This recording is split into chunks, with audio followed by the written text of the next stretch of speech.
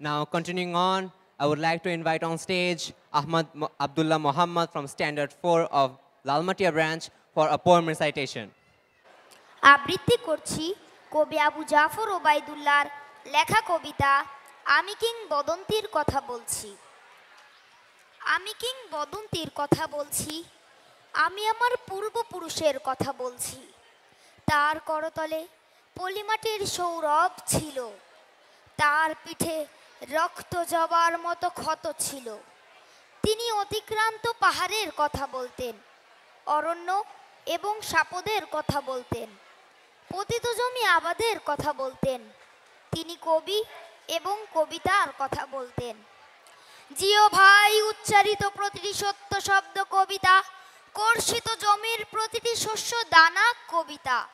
যে কবিতা শুনতে জানে না, সে ঝড়ের আর্তনাদ শুনবে। যে কবিতা শুনতে জানে না, সে দিগন্তের অধিকার থেকে বঞ্চিত হবে। যে কবিতা শুনতে জানে না, সে আজন্মকৃত দাস থেকে যাবে।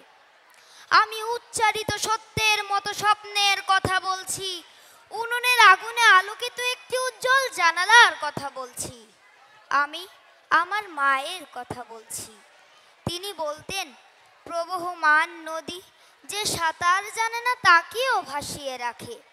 যে কবিতা শুনতে জানে না, সে নদীতে ভাসতে পারে না। যে কবিতা শুনতে জানে না, সে মাছের সঙ্গে খেলা করতে পারে না। যে কবিতা শুনতে জানে না, সে মায়ের কোলে শুয়ে গল্প শুনতে পারে না। আমি কিংবদন্তির কথা বলছি, আমি আমার পূর্বপুরুষের কথা বলছি। আমি বিচল, আমি বিচলিত স্নেহের কথা বলছি, গর্ভবতী বোনের মৃত্যুর কথা বলছি। আমি আমার ভালোবাসার কথা বলছি।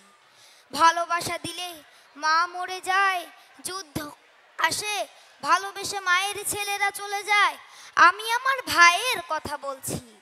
যে কবিতা শুনতে জানে না, সে ভালোবেসে যুদ্ধে যেতে পারে না। যে কবিতা শুনতে জানে না, সে সন্তানের জন্য মরতে পারে না। যে কবিতা শুনতে জানে না, সে সূর্যকে হৃৎপিণ্ডে ধরে রাখতে পারে না। আমি কিংবদন্তির কথা বলছি, আমি আমার পূর্বপুরুষের কথা বলছি। তার পিঠে রক্ত জবার মতো ক্ষত ছিল, কারণ তিনি কৃতদাস ছিলেন। আমরা কি তার মতো কবিতার কথা বলতে পারব? আমরা কি তার মতো স্বাধীনতার কথা বলতে পারব? ধন্যবাদ।